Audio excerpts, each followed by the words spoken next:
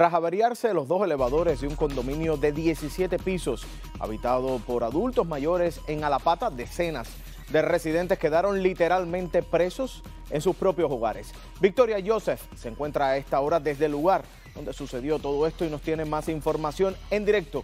Victoria, buenas tardes. ¿Qué tal Daniel? Muy buenas tardes. Indignación es el sentimiento que invade a decenas de residentes que prácticamente quedaron atrapados en sus propios hogares luego que los dos únicos elevadores que sirven a 196 apartamentos dejaran de funcionar. ¿Cómo sube?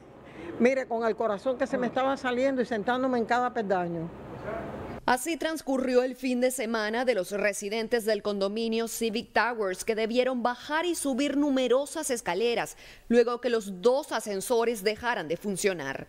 El mayor problema se presentó cuando uno de los inquilinos tuvo una emergencia médica y los primeros auxilios también tuvieron que tomar la ruta de los escalones para atender al paciente. Hace dos días no baja aquí arriba, no baja del edificio porque esta falta de aire tiene hay agua en los pulmones. Entonces yo vengo a ver lo que está pasando. ¿Y en qué piso vive él? En el 17. Wow, y lleva dos días trancado ahí. lleva dos días sin bajar. ¿Y cuál es la razón por cuál él no puede bajar? Por los pulmones. Y, entonces, ¿hay algo en este edificio que no funciona? los elevadores. Un presunto incendio en el piso 15 el pasado viernes habría dejado sin servicio los ascensores. Luego de horas, uno de ellos fue parcialmente arreglado. Y es que funciona solamente si es llamado entre los pisos 11 y 17. Yo tengo una vecina que vive en el 701, que bajó el viernes o el jueves para ir al doctor y estuvo desde las 6 de la mañana hasta las 7 y algo que un vecino Subió por las escaleras a buscar el elevador para bajarla porque ya no puede caminar. Da pena lo que está sucediendo en este edificio. Los residentes se quejan de que la administración del condominio no soluciona los problemas y reciben malos tratos por parte de la manager.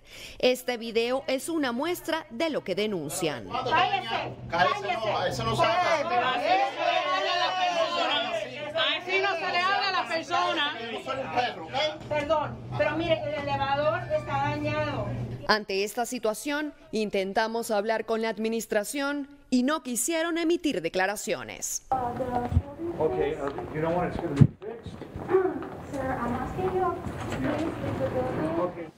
Daniel, y en nuestras próximas emisiones conocerán más de la calamidad que viven estos residentes. Por lo pronto retorno el pase contigo al estudio.